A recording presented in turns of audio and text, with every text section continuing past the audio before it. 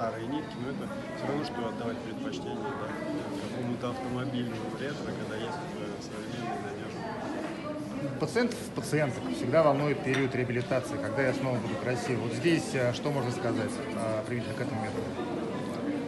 Поскольку он позволяет сократить время операции, это уже плюс для пациента, то есть меньше рисков, поскольку он позволяет э, надежнее фиксировать э, ткани, это исключает различные э, нехорошие вещи после операции, всякие перекосы, асимметрии и прочее. Это позволяет пациенткам э, на самом деле быстрее реабилитироваться, э,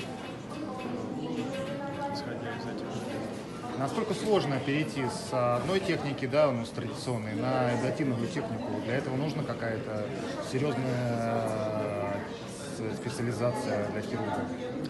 Желательно посетить хотя бы мастер-класс. У нас, кстати, будет э, послезавтра такой круглый стол, на котором мы будем показывать техники.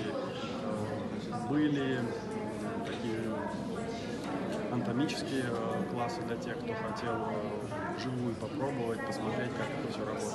Но, в принципе, для опытного хирурга нет ничего проблемного, чтобы перейти с фиксацией винтами, да, такими устаревшими немножко технологиями на самоплазматинах и ими фиксировать быстрее. У нас юбилейчик 20 лет у Клавермен.